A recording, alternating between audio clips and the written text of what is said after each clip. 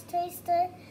Today we're gonna explore Cryo guavas. We picked all of these and we brought them home and and I'm going to show you how, to eat them.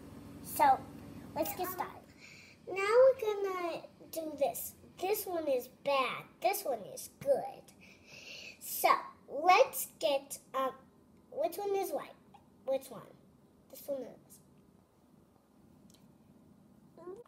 Taste this one really good. Yeah.